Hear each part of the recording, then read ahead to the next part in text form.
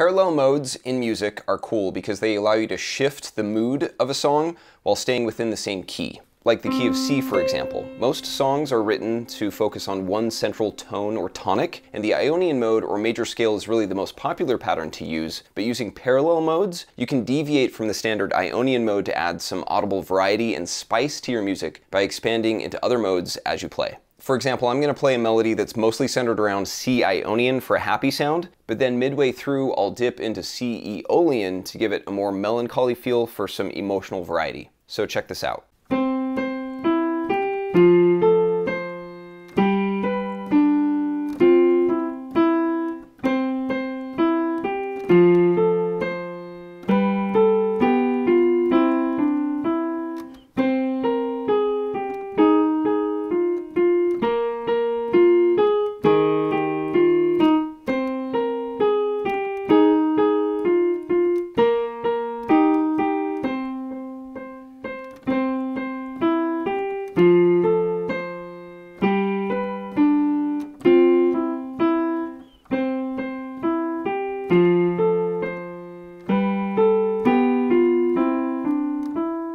You can hear this shift, right? Everything I just played was in the key of C, but when I moved from C Ionian to the parallel C Aeolian, the mood changed. And I know it wasn't Bach or the Beatles, but you get the idea. And you can use any of the other modal patterns as well to create a variety of sounds and moods, all through the use of parallel modes.